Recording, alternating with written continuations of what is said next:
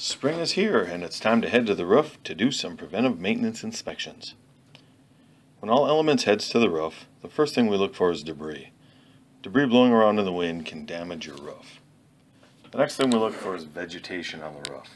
This needs to be removed and the roof repaired, but you don't want to pull these weeds until you're ready to repair the area underneath them. We look around for missing vent caps or equipment covers. Both of these things cause leaks, but neither of them are from the roof. We look at the perimeter of the roof. Has the rubber shrunk? In this photo, the EPDM membrane is shrunk enough to pull itself off the wall that it was glued to and push the rocks away. How about your built-up roof flashings? Are they complete? Are they cracked from the sun or worn and damaged from the winter? Look on the corners, look for wear,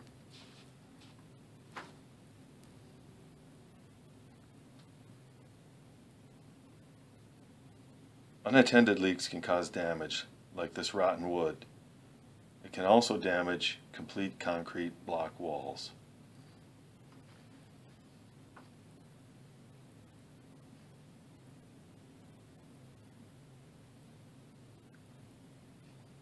We look at the scuppers and drains. In this photo, follow in between the red lines. This is where you look for good terminations. You can see a hole beginning in the yellow circle.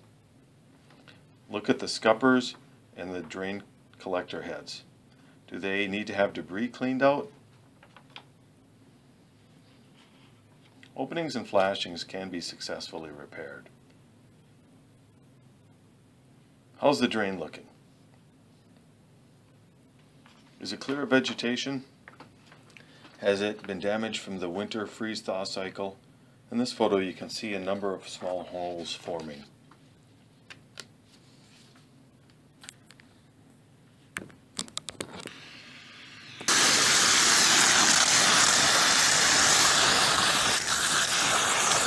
This roof was recently installed, and then the area had a sudden burst of high winds and heavy rain, fogging the leaks. The water rose high enough, becoming the skylights and other penetration.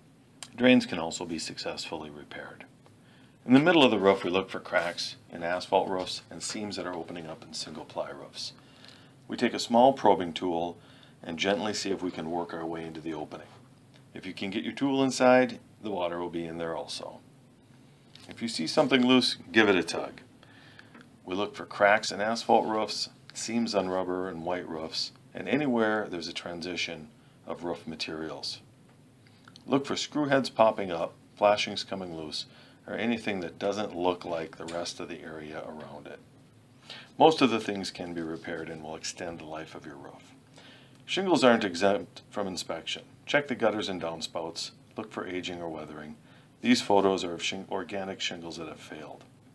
Look to see if the wind has blown shingle tabs loose. If you see a crack like this one, it's from a thermal failure. The roof is too hot. It's improperly ventilated. When you re-roof, you'll have to re-ventilate properly.